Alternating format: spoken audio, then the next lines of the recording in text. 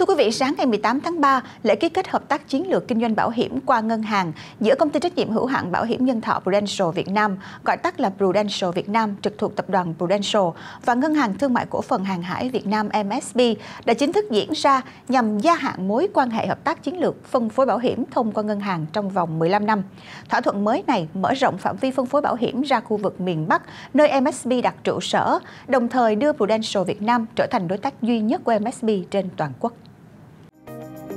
Bắt đầu hợp tác từ năm 2013, Rudeso và MFB đã xây dựng thành công chiến lược kinh doanh bảo hiểm qua ngân hàng, góp phần giúp doanh thu phí bảo hiểm đạt tốc độ tăng trưởng kép hàng năm là 34% tính từ năm 2014 đến năm 2020. Việc mở rộng và gia hạn thỏa thuận hợp tác chiến lược này củng cố vị thế của Rudeso Việt Nam trên thị trường bancassurance, kênh phân phối phát triển nhanh nhất tại Việt Nam, chiếm 30% toàn thị phần bảo hiểm nhân thọ năm 2020, tăng mạnh so với con số 13% năm 2017. 2017.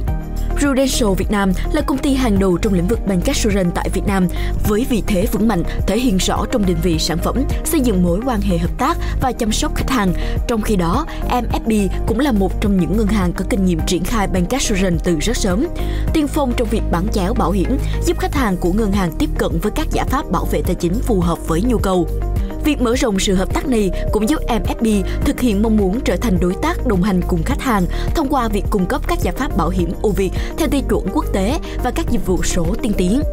Theo như thỏa thuận hợp tác mới, Prudential Việt Nam và MFB sẽ mở rộng thêm các phân khúc trên nền tảng kỹ thuật số để cung cấp các giải pháp bảo vệ toàn diện cho khách hàng. Cùng chung hướng tiếp cận, Prudential Việt Nam cũng có kế hoạch tối ưu hóa các công cụ kỹ thuật số hiện có như ứng dụng chăm sóc sức khỏe dựa trên nền tảng trí tuệ nhân tạo Bunch nhằm nắm bắt các cơ hội phát triển tốt hơn nữa cho quan hệ đối tác.